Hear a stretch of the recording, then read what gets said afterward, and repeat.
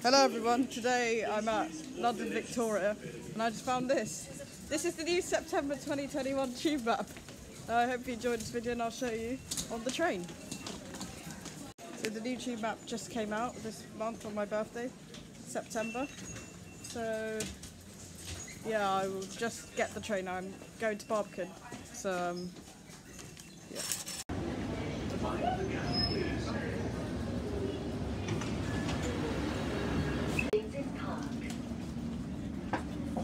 Find a seat.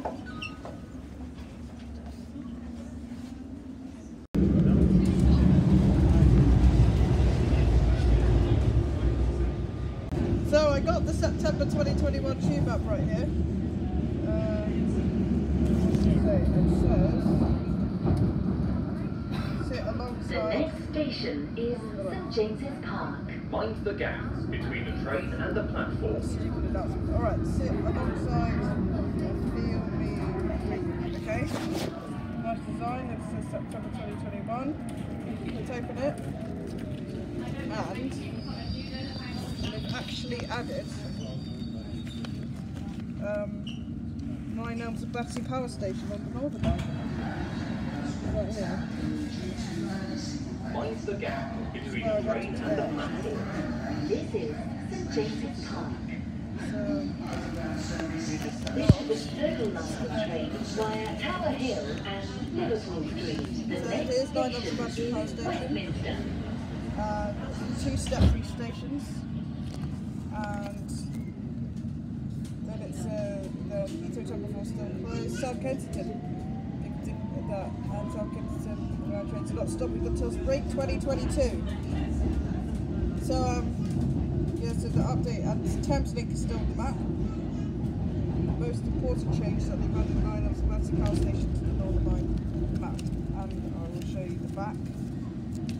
I'll show you the back as well. It says download TFL Go. Exit for Westminster Abbey, the Houses of Parliament, and riverboat services from Westminster Pier. Well, it has to be the thumbnail. So happy they've added line up to Battersea Power Station. This is Westminster. And the dotted lines as well. This is a Circle Line train via Tower Hill and Liverpool Street. The next station is Emba.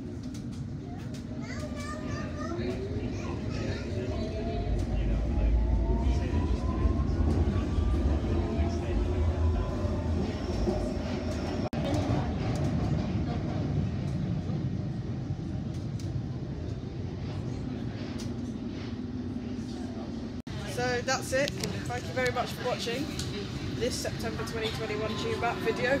I finally found it. So thank you for watching and I'll see you all later. Bye everyone.